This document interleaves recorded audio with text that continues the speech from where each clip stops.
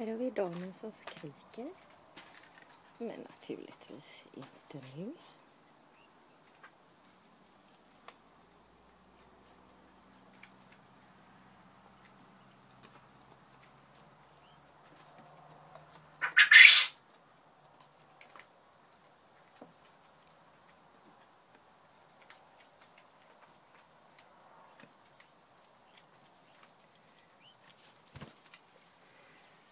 الملت إذا مقدر